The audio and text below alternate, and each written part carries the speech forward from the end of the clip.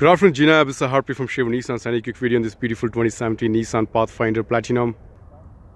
Uh, comes with LED daylight lights, front collision warning, block heater, fog light, beautiful 20-inch wheel, keyless entry, all power inside, blind spot warning, heater steering wheel, most of the controls on steering wheel comes with a Bluetooth 360 camera, navigation, push start button, tri-zone climate control. Front seats are heated and cool, and you can switch between two-wheel drive, automatic, and you can lock the 4x4.